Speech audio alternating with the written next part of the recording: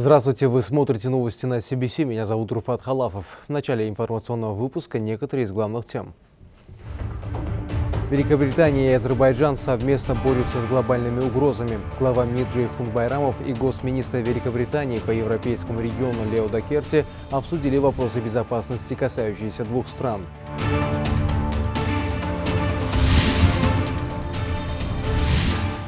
Глава Еврокомиссии Урсула фон дер Ляйен подтвердила планы ЕС выделять Украине 50 миллиардов евро на ближайшие 4 года и призвала все 27 стран Союза внести на эти нужды дополнительные взносы.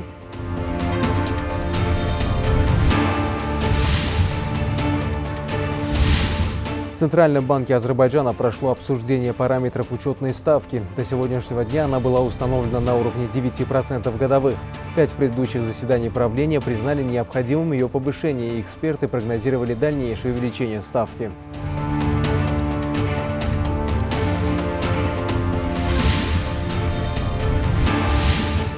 Безответственные, идущие в разрез с дипломатическим этикетом и представляющие себя открытую провокацию. Так МИД КНР прокомментировал высказывание президента США Джо Байдена о Си Цзиньпине.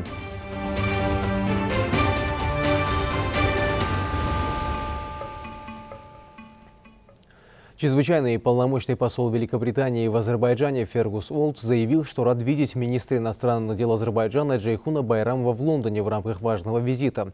Фергус Олд подчеркнул, что стратегический диалог улыбляет британско-азербайджанские отношения и фокусирует внимание двух стран на дальнейшем сотрудничестве. Чрезвычайный и полномочный посол обсудил с министром иностранных дел основные угрозы двух стран и способах борьбы с ними. Накануне государственный министр Соединенного Королевства по делам Европы и Северной Америки Лео Дакерти на своей странице в Твиттер написал, что Великобритания и Азербайджан вместе борются с глобальными угрозами. Во время пятого стратегического диалога министры иностранных дел Джейхун Байрамов и Лео Дакерти обсудили широту британо-азербайджанского партнерства. В частности, речь шла о расширении сотрудничества в области безопасности, торговли и культуры, отметил в своей публикации британский министр. Тему азербайджано-британских отношений продолжим с гостем. На прямой связи со студией главный редактор информационно-аналитического портала «Обозреватель» Ниджат Гаджиев. Ниджат Малим, здравствуйте. Здравствуйте, Серфа. А, стратегический диалог углубляет британо-азербайджанские отношения и фокусирует внимание двух стран на дальнейшем сотрудничестве. Какие перспективы в ближайшем будущем в дальнейшем сотрудничестве мы будем наблюдать в азербайджано-британских отношениях? Ну, для начала скажем, что сейчас Британия это страна, которая, а, которая вышла из Евросоюза и Брекзита, и сейчас она проводит независимую внешнюю а, политику и внешнеэкономическую политику. В этом смысле ей нужны сильные партнеры.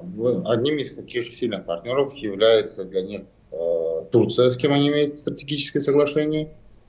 И сейчас они пытаются усилить свое ну, присутствие а, в странах Организации Чужского Союза. В этом смысле Азербайджан – это страна а, среди стран Организации Чужского Союза, которая Британия имеет тесные контакты и историю отношений.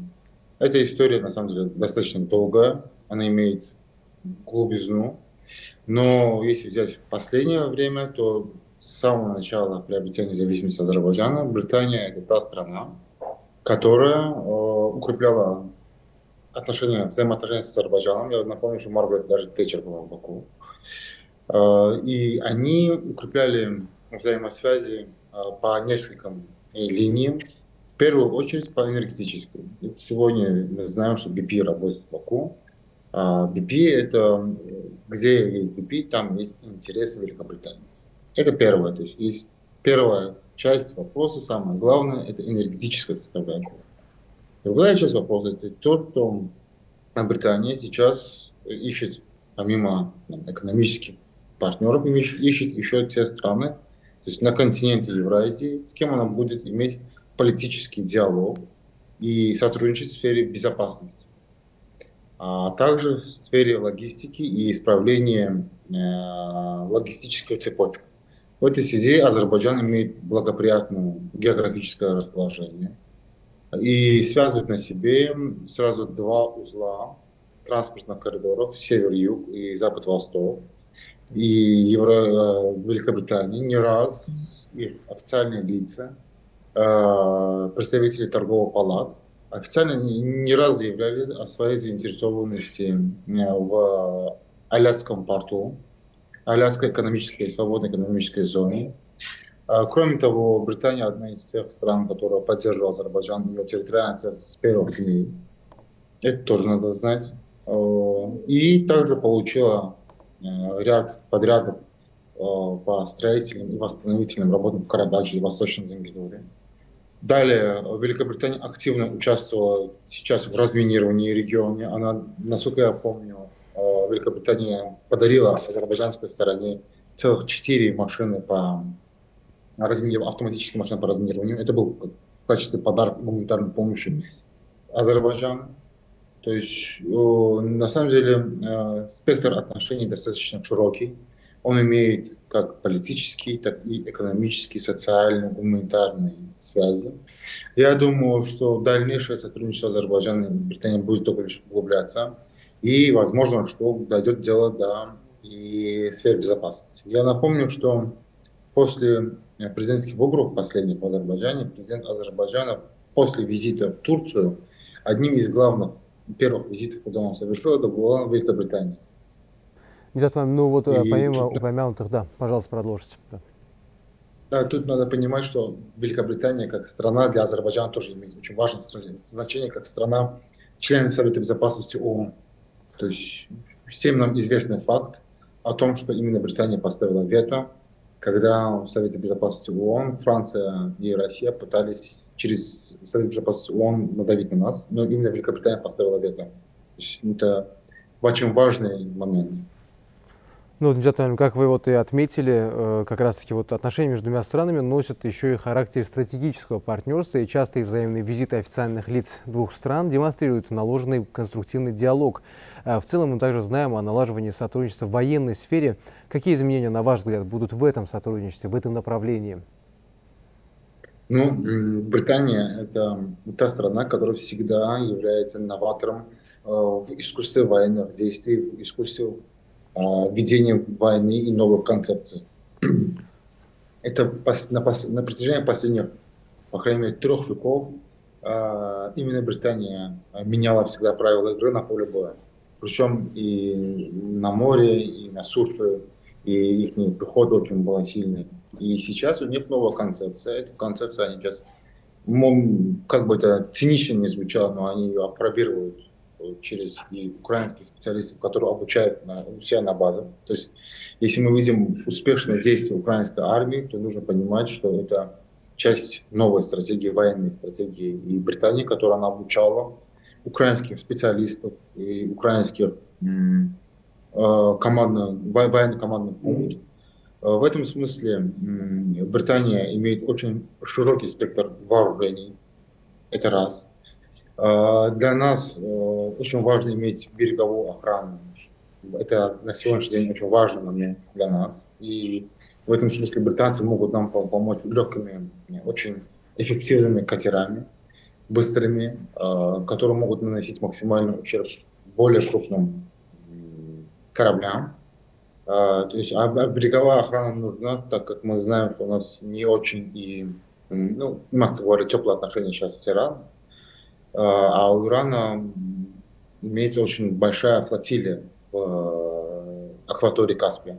В этом смысле это очень важный момент. Второй момент – это сфера безопасности. Азербайджан сейчас модернизирует свою армию. Да, в этом смысле играет Турция огромную роль. Мы ее модернизируем по турецким стандартам, по турецким а, навыкам и обучению. Но э, британский опыт нужно знать, потому что Британия в сфере безопасности – и в сфере новаторства, э, ведения искусства, ведения боевого военного искусства и военной концепции, они в этом плане очень сильны.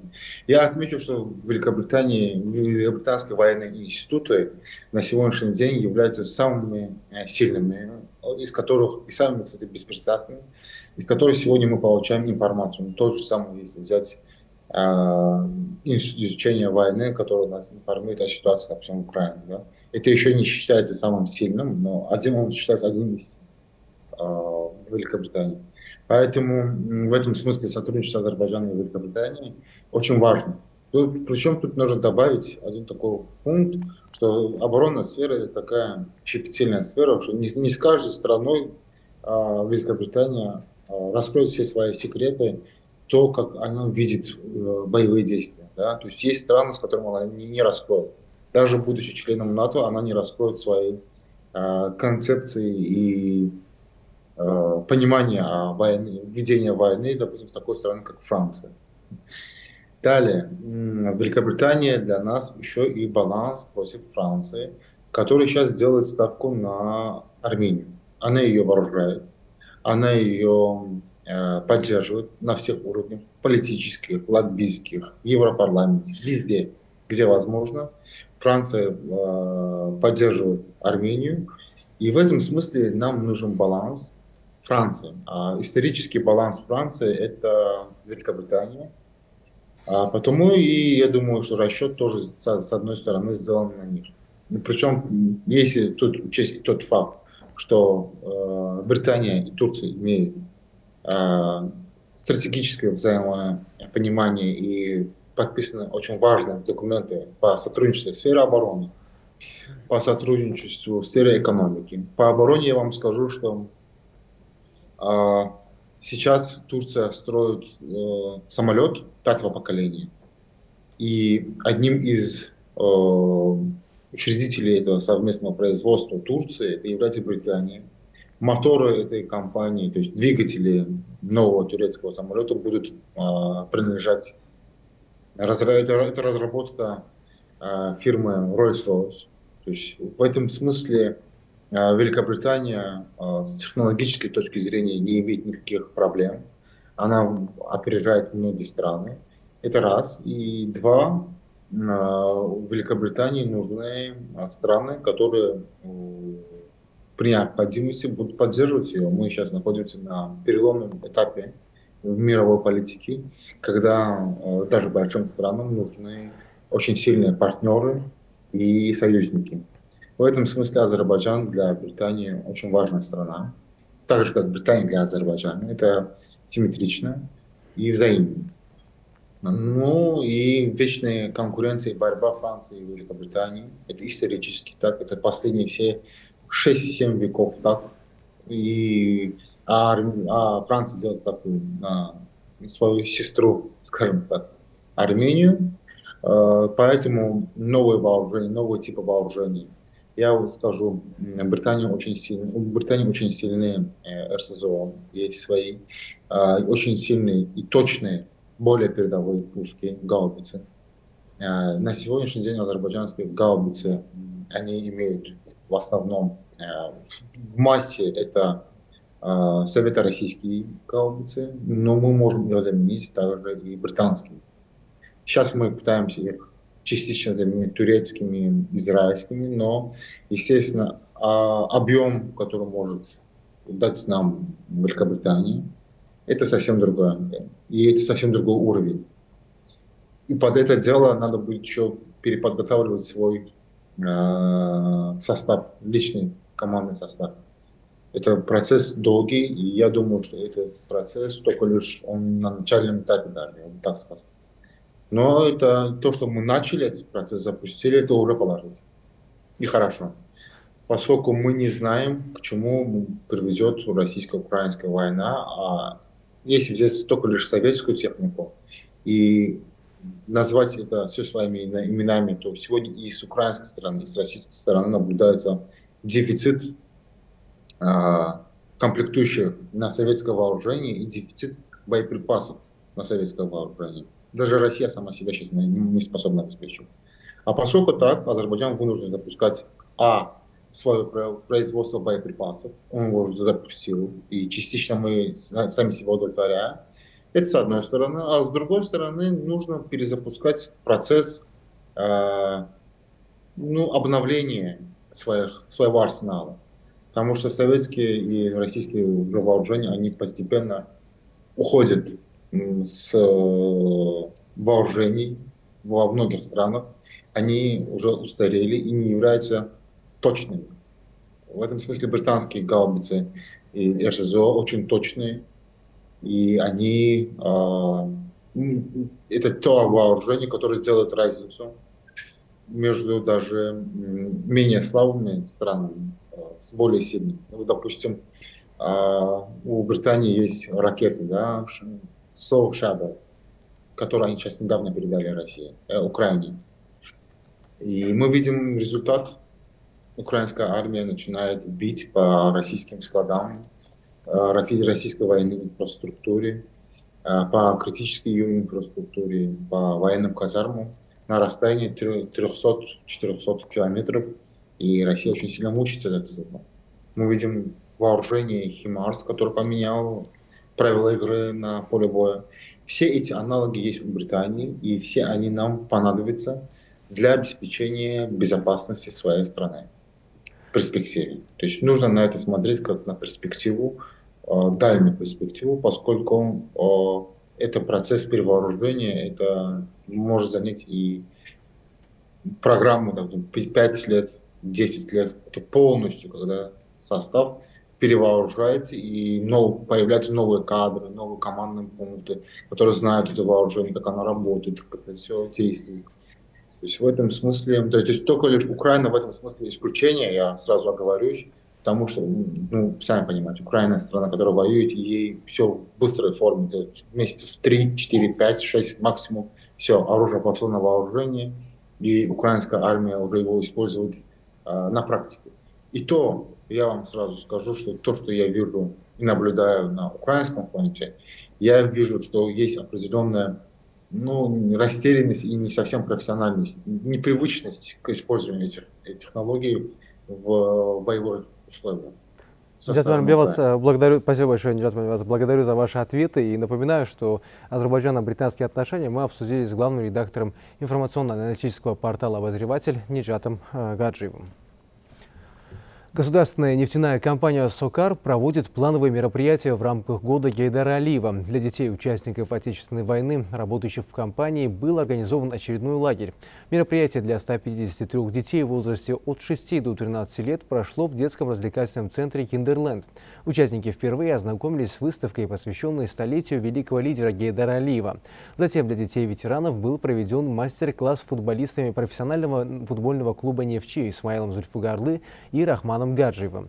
Участники лагеря сыграли во множество интересных игр, а также ознакомились с деятельностью нефтяной компании. В первом лагере, организованном в апреле этого года, дети участников Отечественной войны наблюдали с трибун гонки Гран-при Азербайджана Формула-1 и участвовали в различных программах. Международные соревнования по конному спорту прошли во Франции. Наездники из более 20 стран приняли участие на престижном конкурсе. Азербайджан представляли Агата и Карина Захрабекова. Агата сумела пробиться в тройку лидеров, а Карина Захрабекова победила в соревнованиях среди юниоров. По окончании мероприятия победители были награждены денежными призами, медалями и кубками.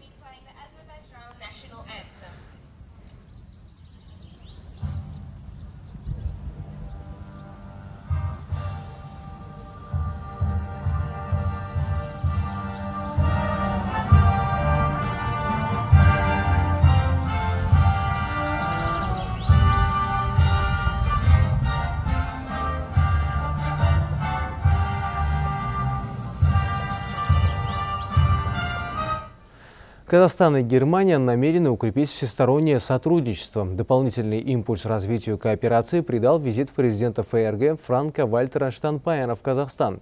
Лидеры двух государств подписали солидный пакет документов и договорились вывести двусторонние отношения на качественно новый уровень. Тем самым Казахстан все больше отдаляется от своего соседа – России, отдавая предпочтение углублению взаимодействия со странами Европейского Союза. Страны Центральной Азии все больше отдаляются от России. Это происходит в первую очередь из-за продолжающейся войны в Украине. Президент Казахстана Касым Жомарт Токаев не раз говорил о поддержке территориальной целостности этой страны. А в июне этого года на Петербургском международном экономическом форуме казахстанский лидер назвал ЛНР и ДНР квазигосударственными территориями и заявил, что Казахстан не признает их. Отношения России и Казахстана все больше переходят в стадию перманентной напряженности напряженности. Между тем, как связи с ЕС Астана активно налаживает. Еще одним подтверждением этому факту является и визит президента Германии в Казахстан. Очевидно, что многовекторная политика Казахстана вызывает достаточно раздраженную реакцию среди маргинальных политических слоев России. Но Казахстан твердо придерживается принципа соблюдения национальных интересов, собственных национальных интересов, который основывается на взаимовыгодном сотрудничестве со всеми странами мира. Ключевым пунктом на повестке переговоров лидеров Казахстана и Германии стал вопрос расширения торгово-экономического сотрудничества. Касым Жомарт Токаев и Франк Вальтер Штанмайер подписали 23 коммерческих соглашения по совместным проектам на общую сумму свыше полутора миллиарда долларов. Помимо этого, главы государств обсудили перспективы развития казахстанско-германского стратегического партнерства, важность взаимодействия в рамках развития транскаспийского международного транспортного маршрута – обменялись мнениями касательно региональной и международной повестки дня. Тукаев также в очередной раз обозначил позицию Казахстана по ситуации вокруг Украины, выразив надежду на скорое установление прочного мира. Визит федерального президента Германии Франка Вальтера Штайнмайера в Казахстан, конечно же, является важной вехой в развитии наших отношений. Тем более, что президент Германии посетит впервые Мангистаускую область, где откроет Казахстана немецкий институт инжиниринга, а также даст старт целому ряду новых немецких производств на территории Казахстана.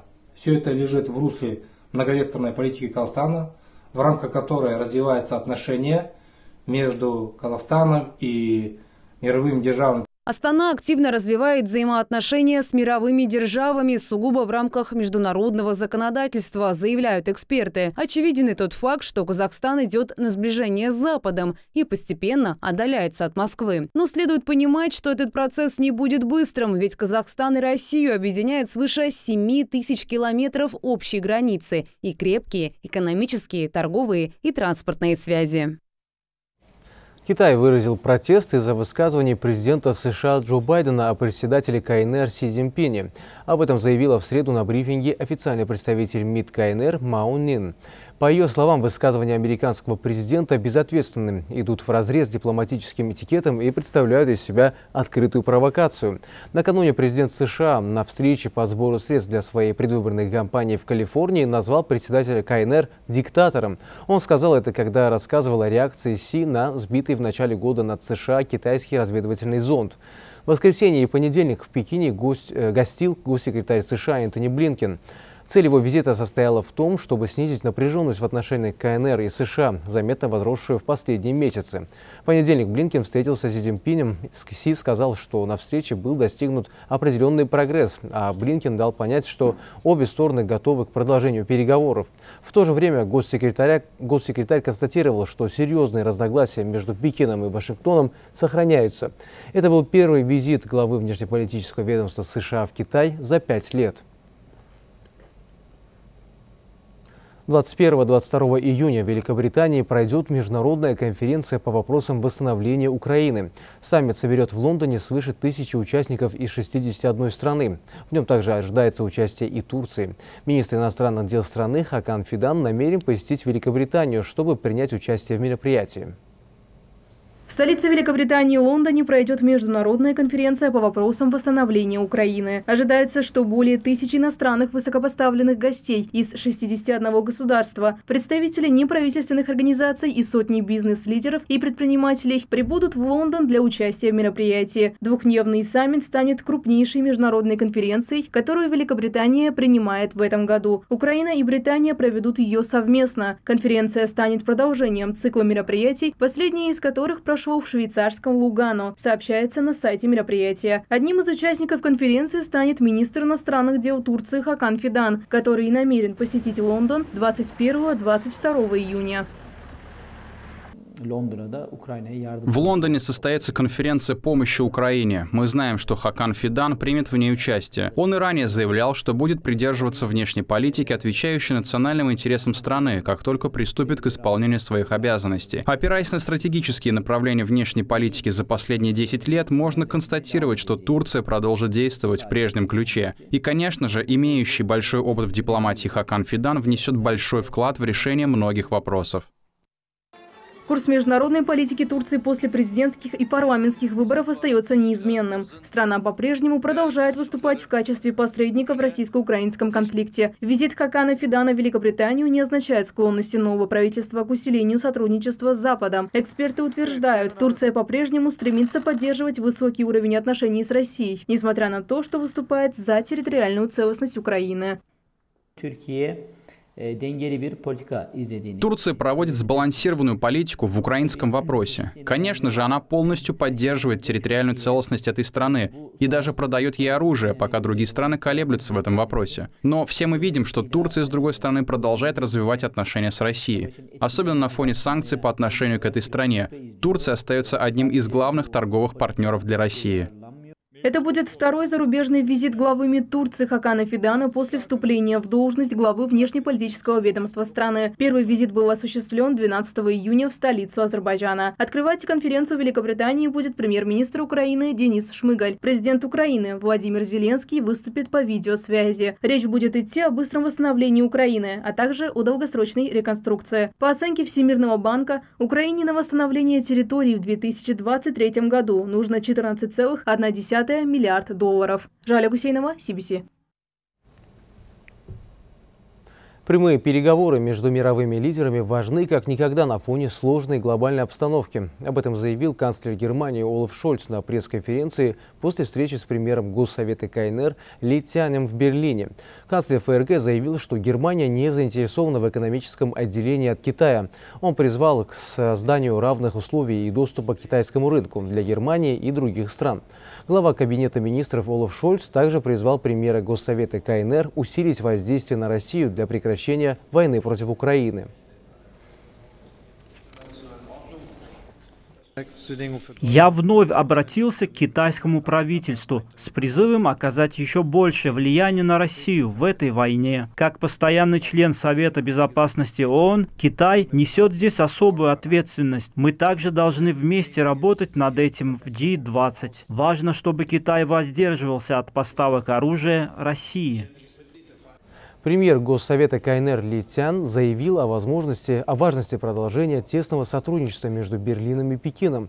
Укрепление торгового обмена, по словам Ли Тяна, будет способствовать повышению экономической устойчивости и внесет вклад в развитие мировой экономики.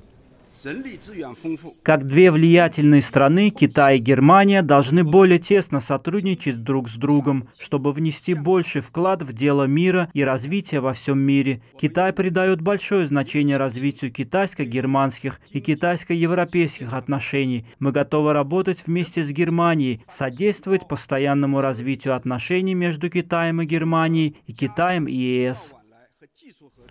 Минобороны России распространила информацию об атаке беспилотными летательными аппаратами на объекты в Московской области. Информацию оборонное ведомство распространило в своем телеграм-канале. Кремль обвиняет Киев в попытке совершить теракт, организовав атаку беспилотника на объекты в Московской области. Все беспилотники были перехвачены средствами радиоэлектронной борьбы, в результате чего потеряли управление и потерпели крушение. Пострадавших и разрушений нет, отмечается в сообщении. Вступление Украины в НАТО, как и любой другой страны, представляет собой уникальный процесс. Об этом заявила заместитель пресс-секретаря Пентагона Сабрина Сингх в ответ на вопрос о перспективах вступления страны в Альянс. По ее словам, у Киева будет свой путь вступления в организацию. Представитель Пентагона отметила, что в настоящее время администрация США сосредоточена на поставках военной помощи киевским властям. Ранее генеральный секретарь НАТО Йен Столтерберг заявил, что саммит Североатлантического альянса в Вильнюсе подведет Украину ближе к военному блоку. По его словам, Киев добился достаточного прогресса на пути к вступлению в НАТО, и ему не нужно завершать пошаговый план действий по членству в альянсе, который проходили другие восточноевропейские страны-участницы в течение длительного длительного времени. Глава Еврокомиссии Урсула фон дер Ляйен подтвердила планы Евросоюза выделить Украине 50 миллиардов евро на ближайшие 4 года. Об этом сообщает Reuters. По словам главы Еврокомиссии, деньги будут зарезервированы в виде грантов и кредитов. Урсула фон дер Ляйен отметила, что деньги не удастся выделить из существующего бюджета ЕС и призвала все 27 стран Союза внести на эти нужды дополнительные взносы. Ранее министр иностранных дел Венгрии Петр Сиярту заявил, что Евросоюз допустил серьезные ошибки в подходе к украинскому конфликту и из-за этого вошел в опасную спираль с непредсказуемыми последствиями для собственной безопасности. Он заявил, что украинский конфликт начался годы четыре месяца назад, и за это время Европа не смогла положить конец войне. Число погибших мирных жителей в Украине превысило 9 тысяч человек. Обновленную статистику о жертвах войны обнародовало Управление Верховного комиссара ООН по правам человека. По данным организации, около 16 тысяч человек пострадали. Из статистики следует, что с начала июня погибли 112 мирных жителей, пострадали 445. Большинство мирных жителей, по данным организации, пострадали из-за оружия взрывного действия широким радиусом поражения. В ООН подчеркивают, что реальные цифры могут быть гораздо выше, поскольку информация о погибших и раненых задерживается из нескольких регионов, где, где велись интенсивные боевые действия. Речь идет в том числе о Мариуполе, Лисичанске и Северодонецке. С проблемой нехватки воды из-за разрушения Каховской ГЭС могут столкнуться около 1 миллиона человек. Об этом сообщил вице-премьер-министр Украины по восстановлению Александр Кубраков в интервью японскому телеканалу NHK. Ситуация с устранением последствий наводнения улучшилась, но около миллиона человек все еще могут столкнуться с нехваткой воды, в связи с чем ведется строительство водопроводов. С другой стороны, мы еще не разобрались в вопросах восстановления поврежденных сельхозугодий. Плотина Каховской ГЭС разрушилась рано утром 6 июня. В результате были затоплены населенные пункты по обе стороны Днепра. По данным на 20 июня, российские власти эвакуировали с подконтрольных территорий свыше 8 тысяч человек. 2 тысячи из них находятся в пунктах временного размещения. Украинские власти сообщили об эвакуации около 4 тысяч человек. В МВД Украины сообщали, что на подконтрольной стране территории погиб 21 человек. Российская сторона заявила о 38 погибших. В ООН сообщили, что из-за разрушения ГЭС с нехваткой питьевой воды может столкнуться 700 тысяч жителей Украины. По ожиданиям организации, это также приведет к снижению экспорта продовольствия из Украины и росту цен на продукты во всем миру, во всем мире. Вашингтон не занимается дипломатическим урегулированием ситуации вокруг ядерной программы Ирана и не обсуждает с Тегераном сделку. Об этом заявил координатор по стратегическим коммуникациям в Совете национальной безопасности Белого дома Джон Кирби. По его словам, США не позволит Ирану развить ядерно-оружейный потенциал. Также Кирби подчеркнул, что Вашингтон мог бы добиться такого результата дипломатическим путем. Но в данный момент дипломатия в этом вопросе не рассматривается, добавил представитель Белого дома. Между тем обсуждается намерение США освободить задержанных в Иране американских граждан и разморозить некоторые иранские активы за границей. В свою очередь президент Ирана Ибрахим Раиси заявил, что Тегеран не будет настаивать на проведении переговоров по ядерной сделке. Он отметил, что страна ведет обсуждения с хорошими намерениями. Мы ведем ядерные переговоры с честью, мудростью и добрыми намерениями, но мы не будем настаивать на их проведении. Это означает, что мы будем вести дипломатию в уважительной манере, проявлять готовность к переговорам, но не будем рисковать ради достижения цели жизнями людей. Соглашение совместного, всеобъемлющего плана действий нарушено, и по нему не выполнено обязательство. Вопрос СВПД стоит у нас на повестке дня. Мы обязательно будем следить следит за снятием санкций. Мы не вставали из-за стола переговоров. Президент США Джо Байден продлил действие американского санкционного режима в отношении КНДР еще на один год. Соответствующее постановление главы государства распространил Белый дом. Речь идет о продлении так называемого режима чрезвычайного положения в отношении Пхеньяна, который предусматривает сохранение рестрикций, введенных на основании ряда президентских указов, подписанных в период с 2008 по 2017 год. Принятые тогда Вашингтоном меры были нацелены, на, в частности, на предотвращение распространения со стороны КНДР оружия массового уничтожения и средств его доставки. Байден объяснил принятые решения риском распространения оружейных расщепляющихся материалов на Корейском полуострове и политикой правительства Северной Кореи, которые продолжают представлять чрезвычайную угрозу национальной безопасности, внешней политики и экономики Соединенных Штатов. В зоне поиска пропавшего батискафа «Титан» гидролокаторы зафиксировали подводные шумы. Стук раздавался каждые полчаса. Сегодня эту информацию подтвердил в береговой охране США, добавив, что в этот район были переброшены дополнительные ресурсы, но последующие поиски оказались безрезультатными. Накануне первым о звуках под водой сообщило издание Rolling Stone. CNN приводит отрывок из правительственной записи, в которой говорится об акустической обратной связи. По мнению чиновников, это указывает на то, что сохраняется надежда найти выживших. По оценкам оценкам специалистов, у пяти человек на борту батискафа кислород закончится к утру четверга, при условии, что субмарина все еще функционирует. Напомню, что подводный аппарат, направляющийся с туристической экспедицией к обломкам легендарного «Титаника», исчез с радаров в воскресенье.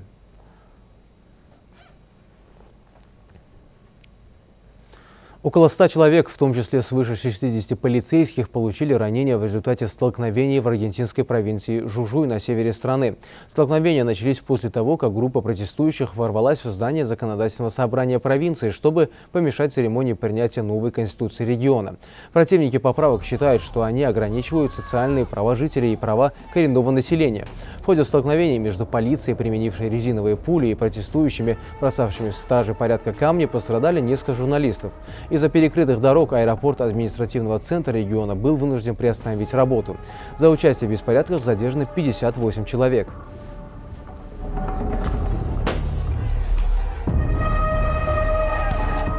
Мы переходим к новостям экономики, которые представит моя коллега Анастасия Панарина.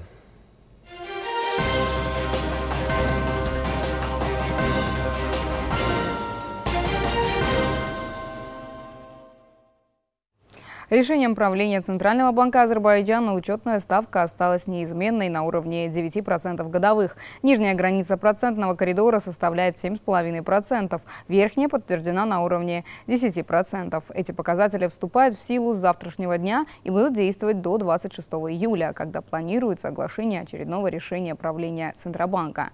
В монетарном ведомстве сообщают, что нынешнее сохранение учетной ставки основано на макроэкономических прогнозах совокупности факторов, влияющих влияющих на инфляцию и изменение баланса рисков. Так, годовой уровень инфляции продолжает снижаться. В мае наблюдалась дефляция в 0,4% по сравнению с апрелем. Годовая инфляция составила 11,5%. Это на 4 процентных пункта ниже максимума сентября 2022 года. Относительное снижение средневзвешенной инфляции в странах-партнерах, снижение цен на мировых товарных рынках, возврат стоимости международных контрактов к допандемическим уровням, поддержание баланса на валютном рынке в условиях профицита платежного баланса, укрепление номинального эффективного курса Моната, а также принятые решения денежно-кредитной политики снижают годовой уровень инфляции. Профицит платежного баланса также отражается на валютном рынке, говорится в пресс-релизе Центрального банка. В частности, в январе-мае на валютных аукционных спрос банков на доллары США в основном был ниже предложения. Впервые с 2018 года покупки банками наличных долларов повысили продажи за тот же период. Номинальный эффективный курс Моната за прошлый год укрепился почти на 8,5%, а за 5 месяцев 2023 года уже более чем на 5%. В то же время изменилась структура баланса инфляционных факторов. Среди источников риска изменчивость внешней среды инфляции, чрезмерный рост спроса благодаря росту росту доходов населения, нестабильность глобальной финансовой системы, угроза рецессии в ряде развитых стран, геополитическая напряженность способны влиять на инфляционные процессы. Тем не менее, прогноз годовой инфляции на уровне 8,3% в 2023 году сохраняется неизменным при базовом сценарии, говорится в сообщении Центробанка Азербайджана. Однако при ослаблении давления внешних факторов прогноз инфляции на оставшуюся часть года может снизиться.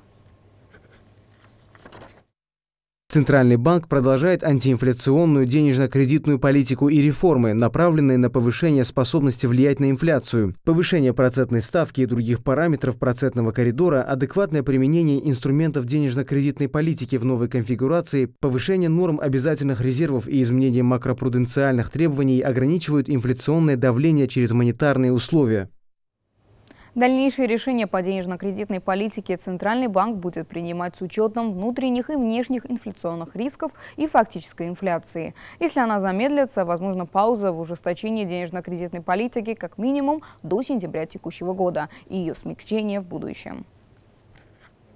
Азербайджан и Международный валютный фонд обсудили прогресс, достигнутый в результате структурных реформ в стране. Как сообщил в Твиттер министр экономики Микаил Джаббаров, этот вопрос рассмотрен на встрече с делегацией во главе с руководителем миссии МВФ в Азербайджане Анной Бардо. Стороны обсудили направление сотрудничества с учреждением и вопросы повестки дня. Это макроэкономические показатели и прогнозы Азербайджана и прогресс, достигнутый в результате структурных реформ, а также реформы в сфере налоговой политики и администрации администрирования, говорится в публикации министра. Ранее подготовку к консультациям фонда по четвертой статье соглашения по Азербайджану обсудили министры финансов Самир Шарифов и Анна Бардо.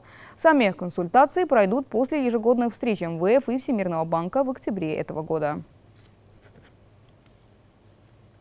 Пакистан закупит у Азербайджана до 10 партий сжиженного природного газа. Об этом заявил министр нефти Пакистана Мусадик Малик в интервью местным СМИ. Он отметил, что соглашение между двумя странами о закупке СПГ позволит эффективно решить газовый кризис. И Пакистан не столкнется с нехваткой топлива в предстоящий зимний сезон. Говоря о поставках, министр сообщил, что госнефтекомпания Азербайджана будет каждый месяц поставлять в Пакистан партию сжиженного газа по выгодным ценам. В соответствии с долгосрочным соглашением соглашением между странами в этом году в Пакистан поступит 9-10 партий СПГ.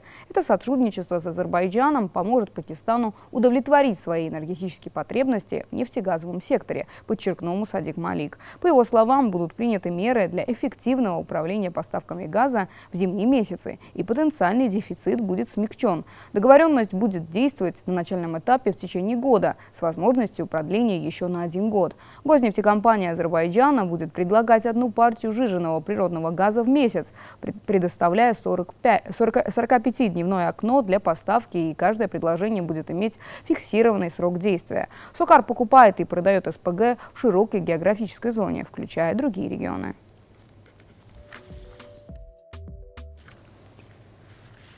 Реализацию транспортного проекта «Север-Юг» обсудили сопредседатели Азербайджана-Иранской совместной комиссии, вице-премьер Азербайджана Шахин Мустафаев и министр дорог и градостроительства Ирана Мерхдада Базарпаша. В ходе телефонного разговора обменялись мнениями по ходу строительства транспортного коридора. Иранский министр выразил надежду, что в кратчайшие сроки международный маршрут «Север-Юг» будет завершен и реализован. Также сопредседатели комиссии обсудили и другие совместные проекты.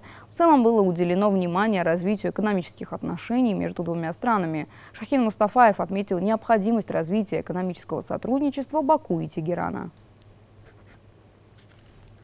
Телефонный разговор между сопредседателями Азербайджан-Иранской комиссии – это продолжение решения вопроса, связанного с международным транспортным коридором Север-Юг – до этого азербайджанская сторона неоднократно обсуждала с российской стороной этот вопрос. Все это говорит нам о том, что идет активное решение вопроса, связанного с реализацией проекта. Несмотря на сложности в отношениях между Ираном и Азербайджаном, продолжение диалога и детальное обсуждение проекта говорит о том, что каждая из сторон заинтересована в нем в целом. Необходимо сказать, что российская сторона торпедирует реализацию проекта, и этот факт выступает балансирующим фактором, способным ускорить процесс реализации проекта. Казахстанская нефтегазовая компания «Казмунайгаз» и германская «Роснефть Deutschland» подписали договор о поставках сырой нефти через Россию на 2023 год. Об этом сообщает пресс-служба «Казмунайгаз». Объем поставок составит 100 тысяч тонн в месяц до конца этого года. Сырье будет отгружаться из ресурсов месторождения Карачанак. Объем поставки в Германию в текущем году составит не менее 890 тысяч тонн. Отмечается, что германская сторона также заинтересована в увеличении объема объемов поставок казахской нефти, включая ресурсы других нефтяных компаний Казахстана. В прошлом году правительство Германии обратилось к Астане с просьбой о поставке казахстанской нефти по нефтепроводу «Дружба». С начала 2023 года по этому маршруту уже было доставлено 190 тысяч тонн нефти, а в июне планируется отправить еще 100 тысяч тонн. Ранее российская сторона согласовала транзит казахстанской нефти в Германию по нефтепроводу «Дружба» на этот год в объеме 1 миллион 200 тысяч тонн. Мы в начале года начали с небольших объемов, порядка 20 тысяч э, тонн ежемесячно. То есть сейчас уже э, в результате достигнутых договоренностей мы планируем до 100 тысяч тонн ежемесячно увеличить поставки казахстанской нефти. Тоже сейчас вот ежемесячно, да, вот сразу по итогам подписания данных соглашений. Казахстан поставками сырой нефти внес существенный вклад в обеспечение энергоснабжения Германии. Об этом заявил президент Германии Франк Вальтер Штайнмайер в ходе совместного заявления прессе по итогам переговоров с главой государства Касым Мартом Такаевым. По его словам, это обеспечит будущее нефтеперерабатывающей промышленности ФРГ, а также снабжение топливом Восточной Германии. Германские компании инвестируют значительные средства в Казахстан, и это не ограничивается только экономическими отношениями. Мы действительно солидарны с господином президентом и с огромным уважением относимся к проводимым в Казахстане масштабным реформам. Это вызывает доверие как наших властей, так и инвесторов. В рамках визита Магистау Штайнмайер принимает участие в церемонии запуска пробного бурения на заводе по производству зеленого водорода шведско-германской компании «Свейвинд». Также среди запланированных обсуждений потенциал транскаспийского транспортного маршрута, который намерен стать для Германии и всего Евросоюза в целом новым логистическим коридором. Казахстан входит в число 50 ключевых экономических партнеров Германии, а также в четверку основных стран-поставщиков нефти в эту страну. Взаимоотношения, основанные на формуле «сырье в обмен на технологии», будут эффективными для обеих сторон. Сегодня возрастет значение транскаспийского международного транспортного маршрута, получившего название «Средний коридор». Мы уделили особое внимание этой теме в ходе сегодняшних переговоров. Основная часть среднего коридора проходит через территорию Мангистаузской области. Президент Штанмайер – первый из европейских лидеров, который посетит этот регион. Турция планирует постепенный переход к традиционной экономической политике. Об этом заявил министр финансов и казначейства страны Мехмед Шимшек, сообщает турецкие СМИ. Как указал глава ведомства, переход к более традиционной политике будет осуществляться постепенно, чтобы избежать нежелательных побочных эффектов. Необходимо восстановить доверие инвесторов. Мехмед Шимшек отметил, что все шаги будут предприняты после глубокого анализа их возможного влияния на экономику. Отметим, что на завтра запланировано заседание Центрального банка Турции Турции по учетной ставке. Экономисты ожидают, что монетарные ведомства под новым руководством Хафиза Гае Эркан значительно повысит ставки. По оценке экспертов, опрошенных агентством Bloomberg, учетная ставка может быть увеличена с 8,5 до 20%. Аналитики отмечают, что это увеличит приток иностранного капитала – к слову, в 2007 году прямые иностранные инвестиции достигли рекордного показателя – почти 18,5 миллиардов долларов. В последний период эта цифра находилась в среднем на уровне 4-5 миллиардов долларов. Отметим, что в результате проведенного среди жителей Турции опроса компании Аведа Survey Дашин Машлык почти 52,5% респондентов верят в решение экономических проблем. Предприниматели Туркменистана и Кыргызстана подписали в Ашхабаде более 20 документов по различным направлениям совместной деятельности. Об этом сообщает пресс-служба МИД Кыргызстана. Меморандумы заключены в рамках встречи представителей бизнес-кругов двух стран. В состав кыргызской делегации вошли представители 17 компаний, занятых в текстильной промышленности, производстве строительных материалов, пищевой промышленности, IT-технологиях, нефтехимии. С туркменистанской стороны во встрече приняли участие представители 40 компаний и предприниматели, работающие в сфере производства стройматериалов, транспорта и логистики, пищевой промышленности, текстильной промышленности и IT. Обсуждалось развитие двухсторонних торгово-экономических отношений, в частности, расширение экспортных возможностей стран. Генеральный секретарь Организации Объединенных Наций Антонио Гутерриш призвал сделать все возможное для обеспечения продолжения действия зернового соглашения. Его срок действия истекает 18 июля. Об этом говорится в заявлении Офиса Генсека ООН. Отмечается, что организация полностью привержена поддержке реализации как Черноморской инициативы, так и меморандума о взаимопонимании в отношении российского экспорта продуктов питания и удобрений.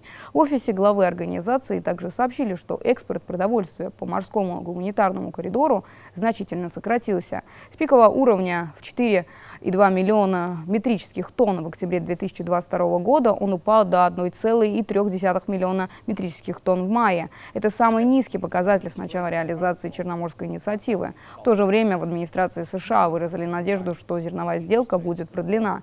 Об этом сказал координатор по стратегическим коммуникациям Совета национальной безопасности Джон Кирби. Он подчеркнул, что при необходимости США продолжат поддерживать ООН и президента Турции Реджепа Таипа Эрдогана для, расшир... Э, для расширения масштабов этой инициативы.